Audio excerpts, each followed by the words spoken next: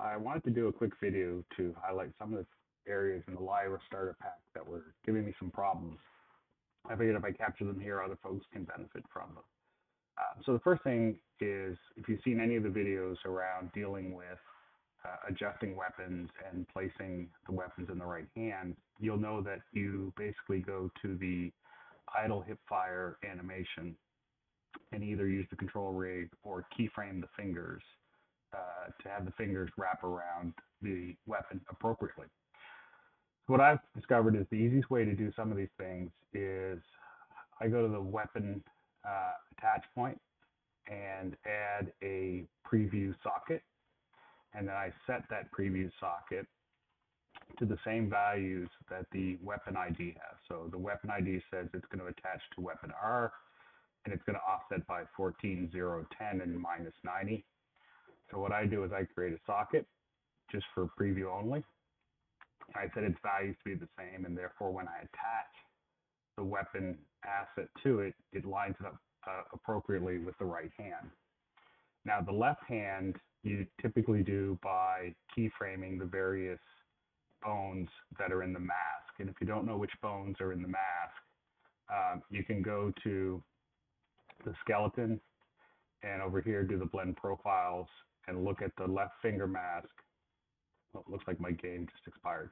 The left finger mask will tell you which bones are part of that mask. So the IK hand left is part of the mask, and basically all the bones in the in the hand is part of that mask. So any of those bones you can adjust in your idle hip fire, and it'll adjust appropriately. However, once you've done that and you've keyed these, which you have already done, and you have your fingers in the position you want, you'll find that when you go into your game, maybe restart that. When you go into your game and you go pick up your weapon and then take it and take a look, you note that the hand is not in the position that you want. It's actually uh, basically using the left hand IK to move the hand position up onto where the rifle is positioned. And you can see in these, these are just my debuggers are showing where that uh, bone is positioned. So that's the problem we're going to talk about, how to have the wrist not snap here, but to have the wrist snap uh, on the position of the handle where we want it to. So the first thing to do is, like I said, you're going to build this appropriately to the way you want it. And then what I've noticed is that in the item anim layer under the full body skeletal controls, ignore this, this is the fix, you'll see that what it's doing is it's picking up the virtual bone for the for the hand L and copying that into the IK hand position. So this is basically overriding anything you do in the IK hand position with this virtual bone. And then from there, it's basically doing a little modifications and it's running the IKs to position the hand. So the driver is really this virtual bone IK hand L weapon space. And if you look at the skeleton, you'll notice that that virtual bone is associated with the white, the weapon right. So it's not actually attached to the hand L, it's attached to the weapon right and that's kind of shows you the offset between the weapon and the virtual bone. So I had to come up with a way to actually move this bone into this virtual bone into the proper position.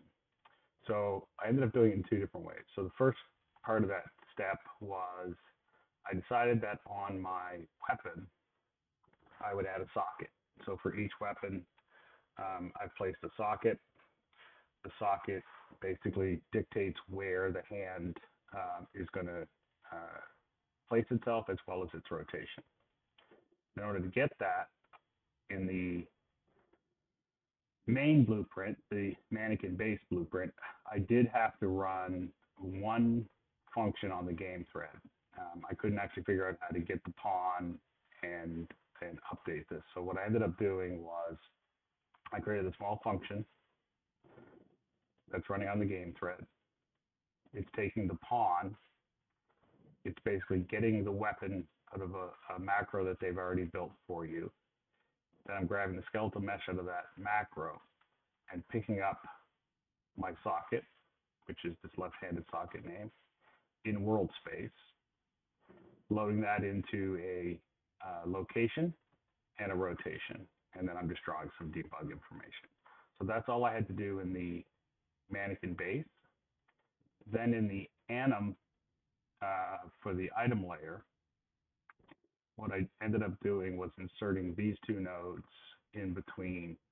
So we go past the IK targeting. We then transform the bone. So I basically move the uh, virtual bone if this flag is uh, set on by getting now the thread safe location that we had set in the original uh, Manny base. So I pulled the thread safe version of what I set there, these two variables here, run that translation in world space so it sets the offset between the virtual bone and where the gun is. And then I do the rotation the same way, but the rotation had to be done in component space. That's why I ran them as two separate modifications. And then you just finish the chain as you would normally do. So with those two bone adjustments put into that item space, the child, the basically the uh, child for this particular weapon, I can turn on or off the extract left-hand position from weapon. So in this case, for this weapon, I have it on.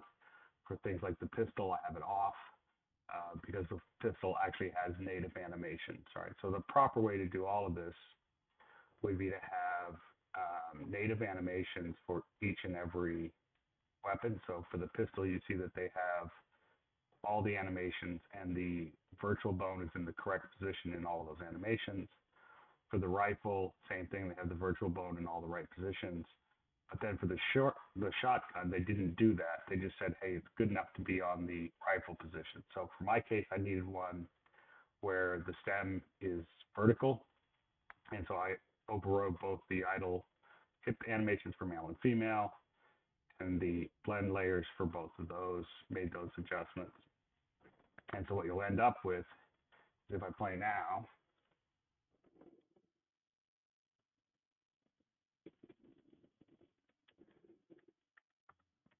eject out, you'll see that the hand is actually in the proper position and the wrist is in the proper position. And we can actually take the skeletal mesh, pull that up here, and in real time, if I wanted to move the hand socket, you'll see that the hand will move with it into whatever position I place this. So this allows you to get the hand where you want it, get the wrist direction you want, and you should be good to go. All right, thanks for watching.